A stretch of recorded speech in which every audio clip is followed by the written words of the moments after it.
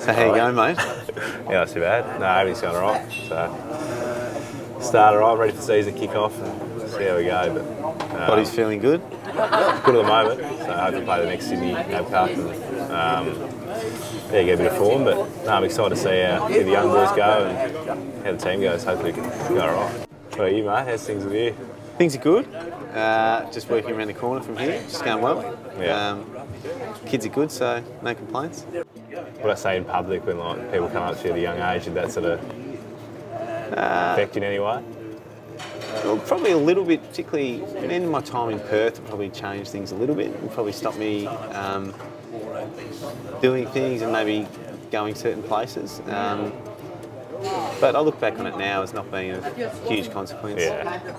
So I find that I go back to Perth, that, like it's so much It's easier in Perth. Yeah, Yeah. Just because like when you go, you see a lot more people you actually know. Yeah, You know what I yeah. like, all you really know is a footy. Yeah. So like you go out and all you talk to is where other people like you go out with. But Yeah. Over there, you like I see somebody you went to school with and stuff like that. Yeah, yeah, that's one of the big things I missed when I was living over Yeah. in the Wild West.